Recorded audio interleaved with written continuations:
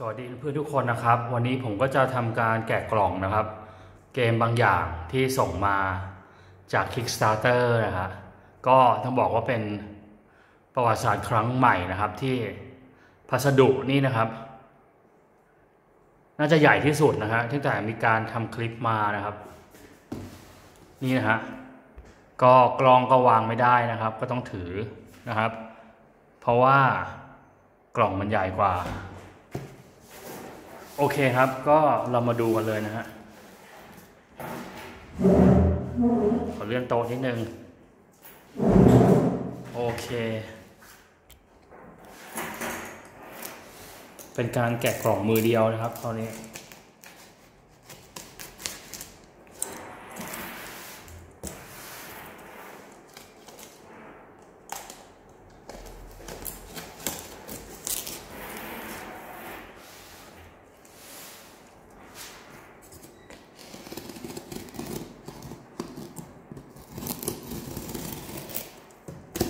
อืมโอเค ได้มาแล้วครับ โอ้โห อันนี้ภาพเสริม โอ้โห มีกล่องในกล่อง อะไรจะขนาดนั้น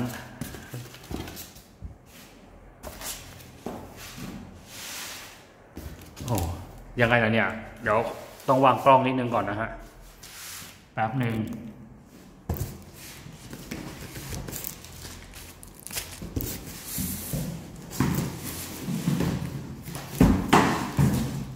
โอเค อ่า อันนี้ครับกล่องข้างหน้าอีกทีหนึ่งโอ้ย จะเยอะไปไหน โอเคครับ เดี๋ยว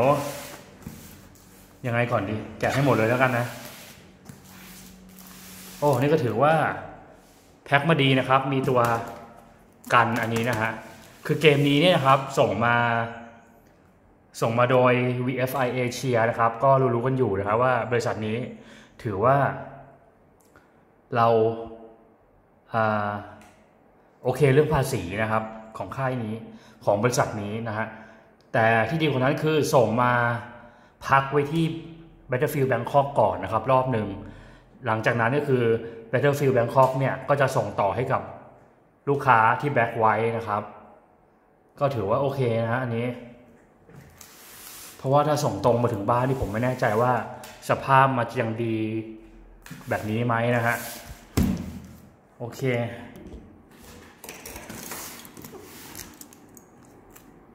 อ่า ยังไงต่อ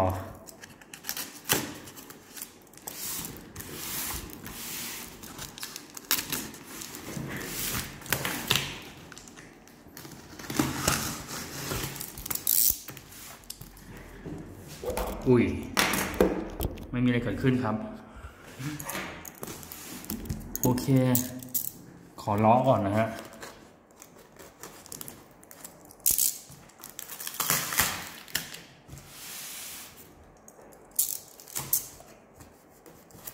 สามนาทีแล้วนะครับ ยังไม่เห็นเกมเลยนะฮะตอนนี้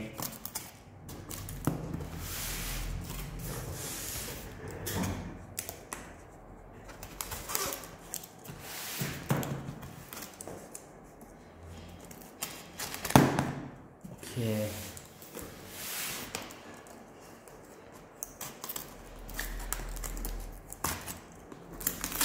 อ่า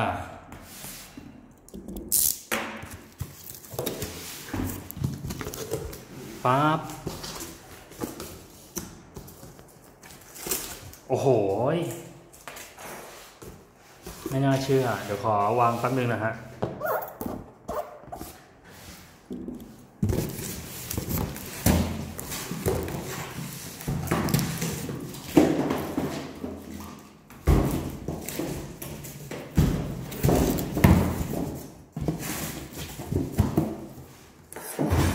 อ่าโอเคอืมเรียบร้อยครับ ตอนนี้ เราก็เห็นโฉมหน้า หันทางไหนดี เกม อะ ฝั่งนี้ดีกว่า เกมนะครับ Age of Darkness นะครับ ก็คือดีไซเนอร์ที่เรารู้จักกันดีครับ อย่างจอร์ดีแคลร์นะครับ ในเกม Mystic Vale นะครับ ที่ผมเพิ่งไม่ใช่สิที่ที่ผมเคยได้รีวิวไว้นะครับ มีรันทรูด้วยนะฮะ โอเค แกะอะไรก่อนดี อะออนเล็กๆก่อนแล้วกันนะครับ อันนี้จะเป็น Metal Coin นะครับ ก็คือแบ็คเพิ่มมานะครับก็ดูหน่อยสิโอ้ถือว่าโอเคครับ เหรียญหนึ่งนะครับ เหรียญหนึ่ง เหรียญเหรียญสี่นะครับทำไมถึงเป็นสี่เดี๋ยวผมอธิบายให้ทีหลังนะครับทำไมถึงไม่เป็นเหรียญห้านะครับ เดี๋ยวจะเดี๋ยวจะเข้าใจนะครับ อันนี้ก็เป็นเหรียญสิบนะครับ โอเค จะมีสามขนาดนะครับ เหรียญบาท เหรียญสี่แล้วก็เหรียญสิบนะครับ โอเค ผ่านไปนะครับสำหรับเหรียญ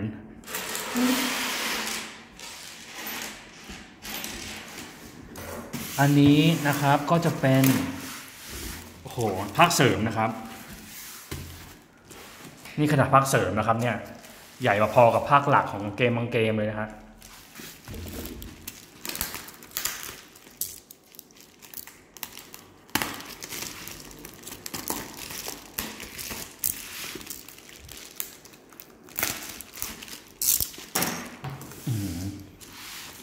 มีคนบอกว่าขนาดนะครับ จะใหญ่ประมาณกรุงเฮเว่นนะครับ ซึ่งเกมกรุงเฮเว่นเนี่ยผมยังไม่เคย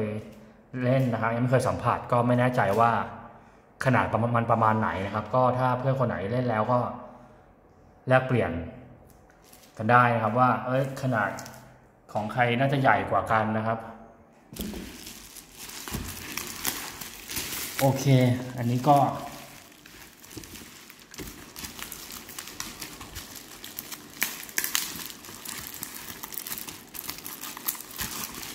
นี่นะครับ จะเป็นสลีปที่สั่งเพิ่มมานะครับ สั่งเพิ่มหรือมันแถมมาไม่แน่ใจอันนี้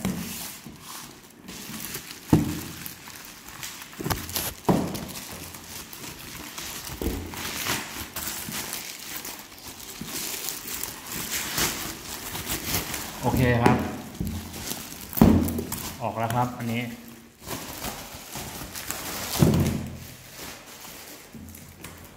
สลิปทั้งหมด 6 ซองนะครับ น่าจะซองละ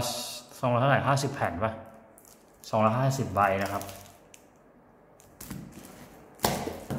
ก็ถ้าใครเคยเล่น Mystic w a l นะครับ ก็น่าจะเคยสัมผัส คุณภาพซองประมาณเดียวกันเลยครับ โอ้โหถูกแล้วคุณภาพซองประมาณเดียวกันเลยครับ ความหนา อเคเรื่องซองผ่านไปนะฮะอันนี้นะครับอันนี้ก็จะเป็นภาคเสริมนะครับ Age of Darkness นะครับ ภาค Sand of Doomstar นะครับ ก็นี่แหละครับภาคเสริม ใหญ่พอกับภาคหลักหลาย ๆ เกมเลยนะเนี่ยก็เอาไว้ดู อันนี้เล่นได้หนึ่งถึงสี่คนนะครับ เรามาดูเกมหลักเลยดีกว่าครับ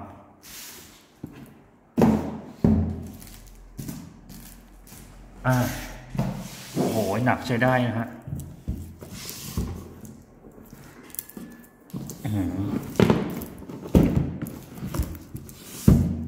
อ่านี่นะครับเกมหลักของเรานะฮะก็เหมือนกันครับเล่นได้หนึ่งถึงสี่คนนะฮะใช้เวลาหกสิบนาทีครับ โอเคเรามาแกะกันเลย แกะยังไงดีวะ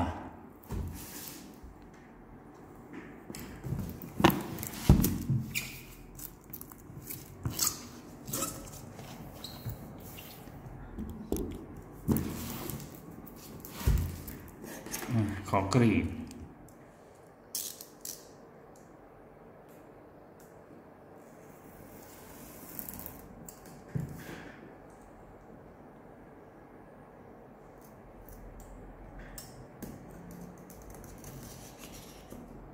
เอ้ยเดี๋ยวนะ ไม่ถนัด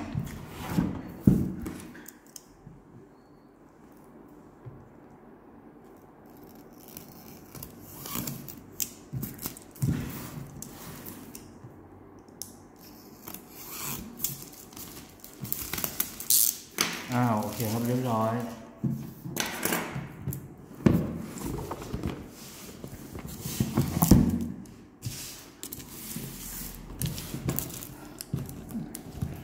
อืมโอ เคครับ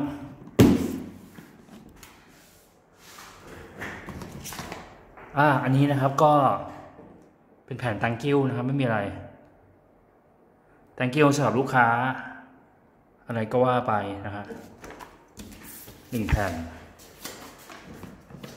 Age of Darkness Rule Book นะฮะก็เป็นคู่มือนะฮะ โอ้ยตัวหนังสือเต็มๆครับแนะนำว่าถ้าใครไม่ชอบอ่านนะครับ แนะนำดูคลิปเอานะได้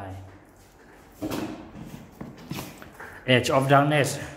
Player Handbook นะครับ นี่น่าจะบอกว่ามีอะไรบ้างนะครับ แต่ละแผ่นทำยังไงยังไงนะฮะอันต่อมานะครับ Age of Darkness Solo Rule นะครับสลับเล่นคนเดียวนะครับ อันต่อมา โอ้โห นี่เหรอ กระดานหลักครับ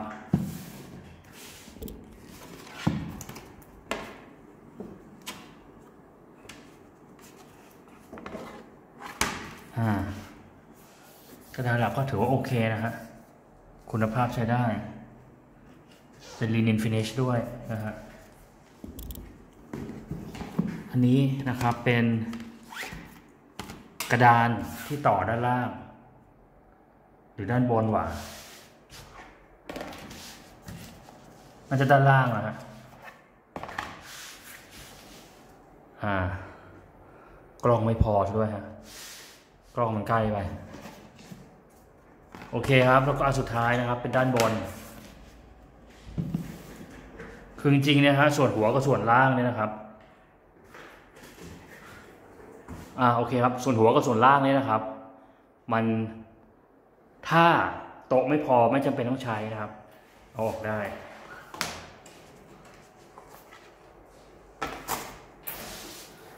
อันต่อไปนะครับ โอ้ยอันนี้นะครับเป็นโทเค็นเป็น worker ของเรานะครับ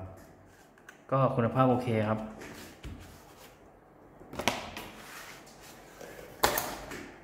อันนี้ก็จะเป็นโทเค็นเหมือนกันนะฮะ อันนี้เป็นโทเค็น Good View กับ อะไรวะคะแนนมั้งฮะจำไม่ได้ละ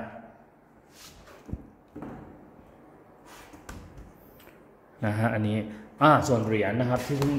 เพิ่งให้ดูไปคือนี่นะครับ ถ้าไม่ได้แบ็กตัวที่เป็นเมทัลคอยเนี่ยนะครับ เราก็จะใช้ตัวที่เป็นอ่าพันชบอร์ดได้ครับ ก็จะมีเหรียญบาทเหรียญ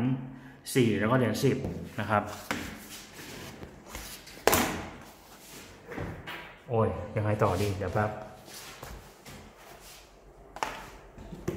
อันนี้ก็จะเป็น นี่นะครับ เป็น reference ของ solo play เดี๋ยวออกมาดูกันก่อนสิ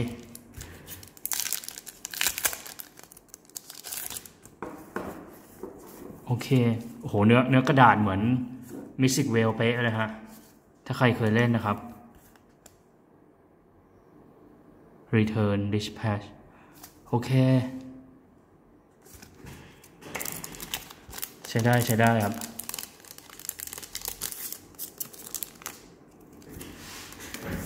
อ่า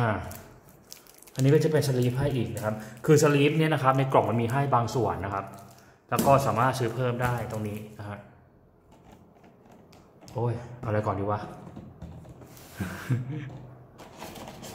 มี miniature ด้วยครับ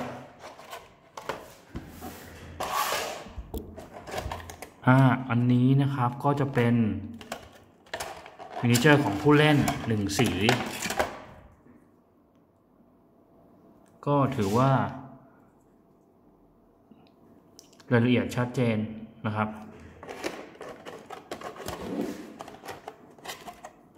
อะ ค่อยว่ากัน อันนี้ก็เป็นมินิเจอร์ของอีกตัวหนึ่งหรือเปล่า เดี๋ยวนะฮะ ไม่เหมือนกันนะฮะ อันนี้ เหมือนป่ะ อ๋อ เหมือนครับ ตัวเดียวกันเลยครับ ตัวเดียวกันเลยครับ ก็จะมี ดูก่อนมีเท่าไหร่ อ้าว ตัวนี้ออกมานอนข้างนอก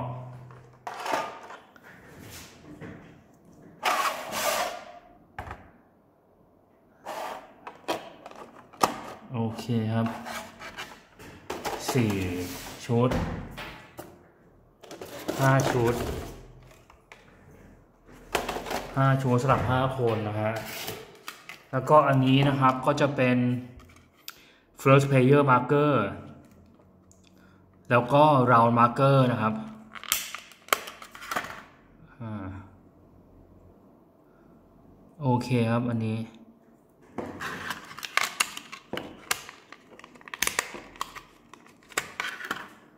นี่นะครับ เป็น round marker น่าจะอันนี้ไม่แน่ใจสักอันนะฮะ อันนึงเป็น round marker แล้วก็อันนึงก็จะเป็น first player marker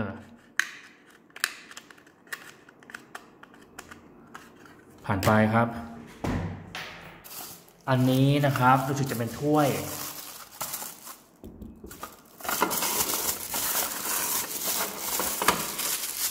เป็นถ้วยสำหรับใส่พวกโทเค็นต่างๆนะครับ ก็เขาแถมมาให้ด้วยก็ แล้วแต่เราครับการใช้งานก็มี Age of Darkness ติดอยู่ข้างหลังนี้ด้วยนะครับ คุณภาพก็ พอถูไถได้นะฮะ อันนี้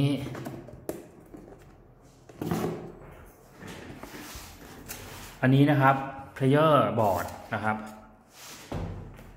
player board ก็จะมี4อสี่อันนะครับ player board ก็ที่สำคัญนะครับเป็น double เขาเรียกว่าอะไร double layer คือมันก็จะมี ล่องลงไปข้างล่างด้วยนะฮะ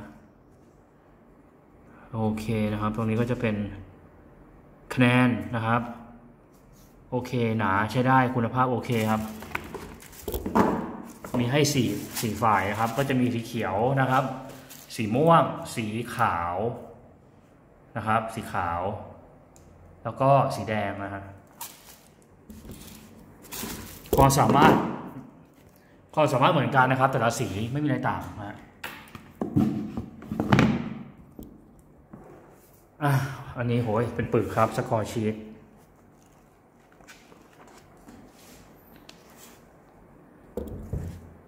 สกอร์ชีตนะครับ คะแนนข้ามไปนะฮะอ่าโอเคครับ อันนี้อะไร โอ้ไม่ยังไม่หมดครับ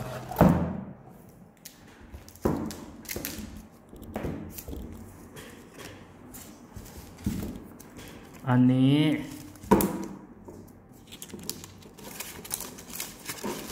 โอ้ลื่นปืดครับ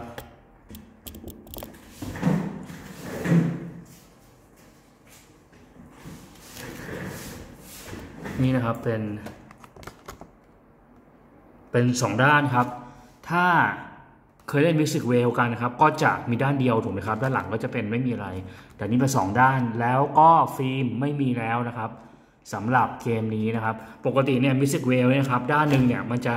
ใส่ฟิล์มมาให้นะครับ เราต้องลอกฟิล์มออกก่อนนะครับเวลาเล่นนะฮะแต่ว่าอันนี้เนี่ยนะครับ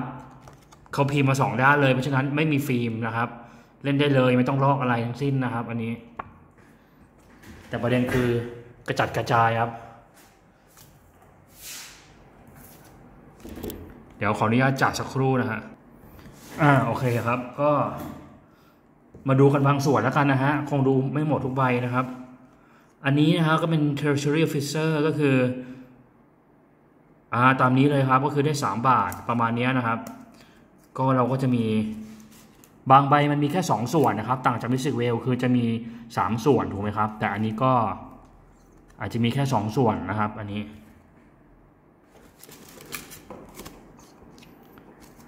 มี 2 ด้านเลยนะครับ อีกด้านหนึ่งไว้ทำอะไร เดี๋ยวช่วง run through นะครับก็จะมาทำให้ชมกันนะครับ แล้วก็อันนี้นะครับ อันนี้เป็น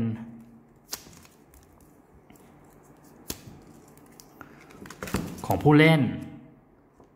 ใช้อ๋อโอเคครับ ใบแรกมันป้องกันไว้ เลยไม่มีอะไรครับ ใบแรกกับใบหลังนะครับ อันนี้ก็จะเป็น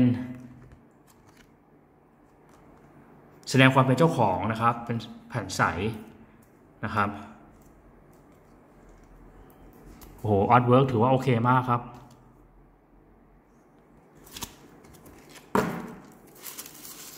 โอเค อันนี้ก็ขอมัดไว้เหมือนเดิมก่อนนะฮะเดี๋ยวจะงง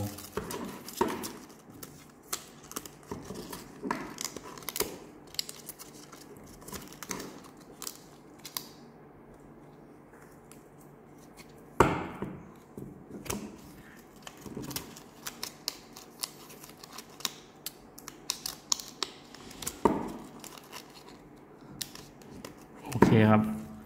อะ เรามาดูอะไรต่อ โอ้ย นี่ยังไม่ถึงไหนเลยนะเนี่ย อั นี้ก็จะเป็น น่าจะเป็นในส่วนของโซโลหรือเปล่าครับ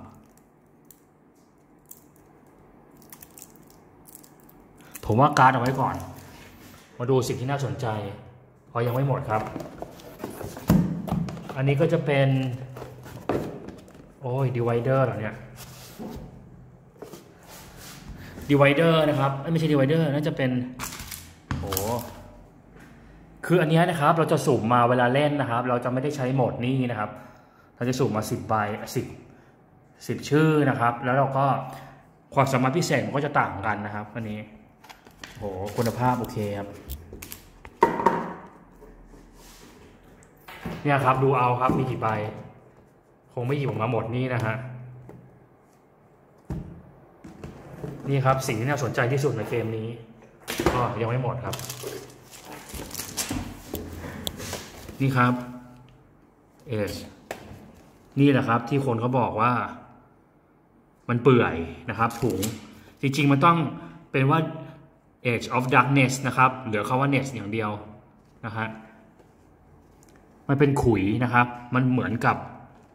เป็นดีแคลบางอย่างนะครับ ที่พิมพ์แปะลงไปบน บนอะไรอะ น่าจะเป็น PVC นะครับ ถุงนี้นะฮะ ก็ลอกแล้วนะครับ ไม่เป็นไรครับ เดี๋ยวเคลมได้ครับ ก็มีคนบ่นเยอะนะฮะ ใน Kickstarter ว่าออถุงตัวหนังสือไม่ค่อยทนนะฮะ แต่ก็ไม่ไม่ใช่ประเด็นอะไรมาก เพราะว่าเราจะล้วงหยิบนะครับ อันนี้คือล้วงหยิบ แล้วก็อันนี้นะครับจะเป็นคิ้วของแต่ละสีนะครับมีทั้งหมดน่าจะ 15 เมตร 15 สีนะครับแต่ เขาเรียกว่าอะไร15เมตรในแต่ละสีนะครับโอเคเดี๋ยวออกมาดูก่อนดีกว่าครับ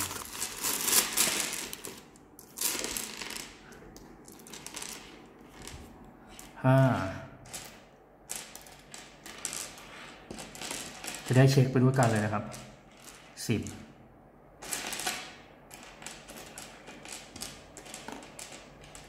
สิบห้าเมตร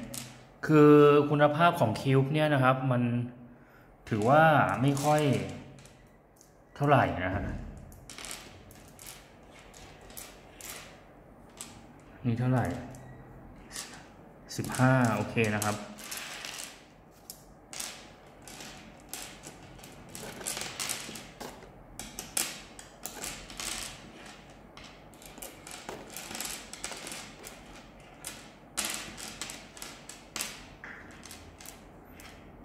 สิบห้าเหมือนกันนะครับ แล้วก็สี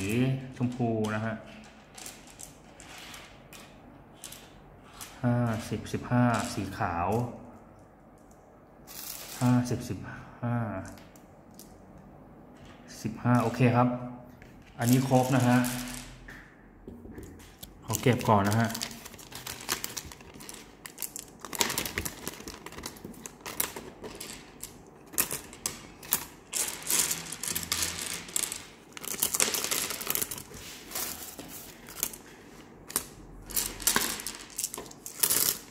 เป็นคลิปแกะกล่องที่ยาวนานมากครับ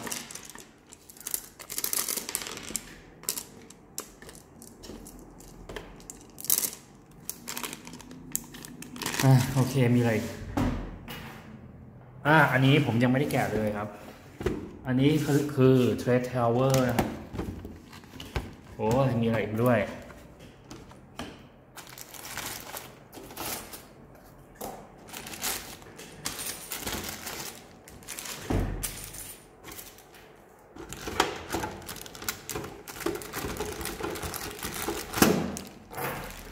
อันนี้ครับจะเป็นตัว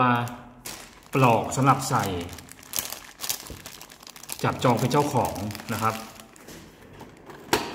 ไม่ใช่จองเป็นเจ้าของจะเป็นตัวไหนที่ train แล้วเนี่ยครับ เราก็จะ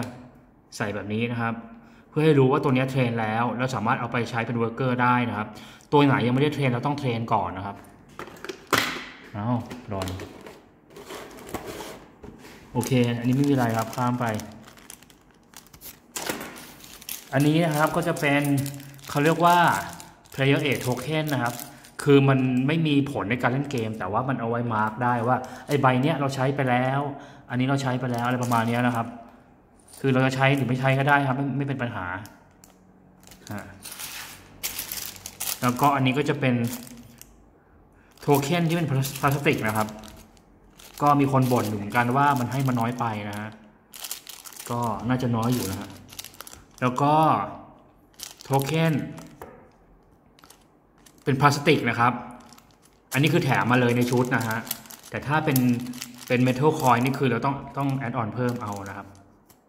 โอเคครับ อันนี้เราจะเลือกเลยจะเล่นเป็น punchboard ก็ได้นะครับ เป็นพลาสติกหรือเป็น metal ก็ได้ครับ อะ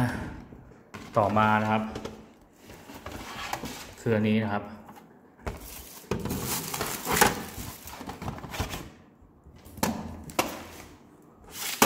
อันนี้จะเป็นเขาเรียกว่า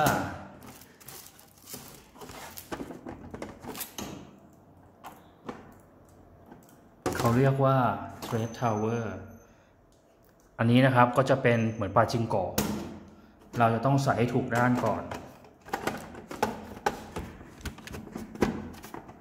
อ่าใส่ถูกด้านแล้วนะครับ เวลาเล่นเนี่ยนะฮะเราก็จะ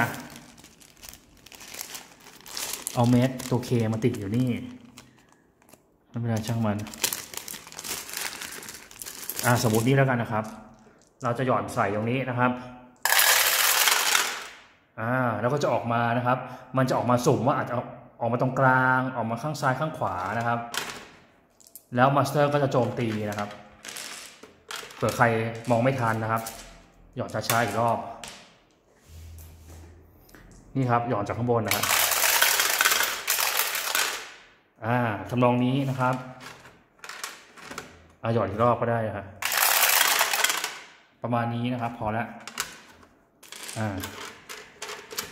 วิธีเล่นเล่นยังไง เดี๋ยวค่อยว่ากันนะครับแกะกล่องไปก่อนนะครับจะครึ่งชั่วโมงนะครับเออต่อมานะครับก็อ่าไหนๆก็แกะแล้วนะครับ แกะภาคเสริมด้วยเลยแล้วกันนะฮะ โอ้ยอะไรเต็มโตไปหมด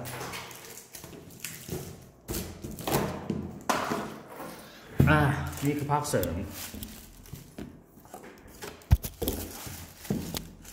ไม่น่ามีอะไรมาภาคเสริม แก่หน่อยก็ได้ครับ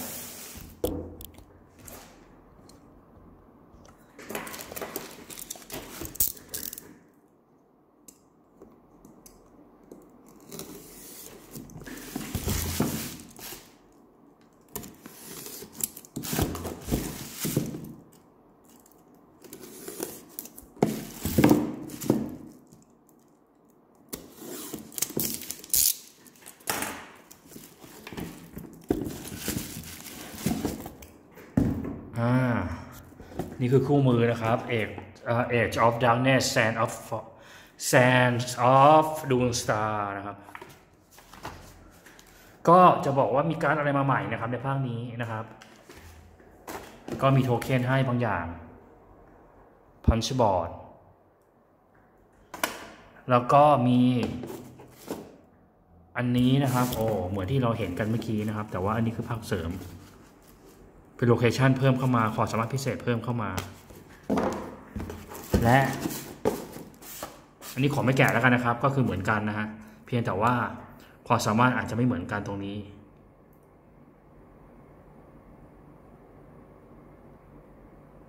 นะฮะวางหนึ่งตัว หรือจ่ายสามวางสองตัวอะไรประมาณนี้นะฮะส่วนอันนี้ก็จะเป็นอ่าอันนี้เป็น randomizer นะครับ เอาไว้สุ่ม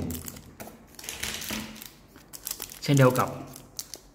อันนี้นะครับอันนี้คือภาคหลักไอ้อันหนาคือภาคหลัก อันบางคือภาคเสริมนะครับ ก็เอาไว้สุ่มนะครับ เกมนี้ก็คือสุ่มแหลกได้หมดเลยครับ replayability ก็น่าจะเยอะอยู่นะฮะโอ้หมดยังหมดแล้วครับ ก็จบไหมน่าจะจบเท่านี้นะครับ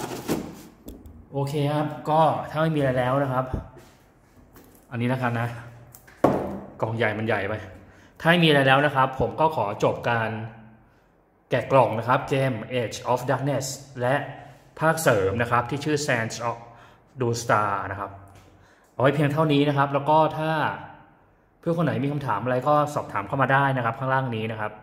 ส่วนคลิปหน้านี้นะครับจะเป็นเกมอะไรนะครับ ก็ขอฝากไว้ด้วยนะครับสำหรับวันนี้ขอบคุณครับ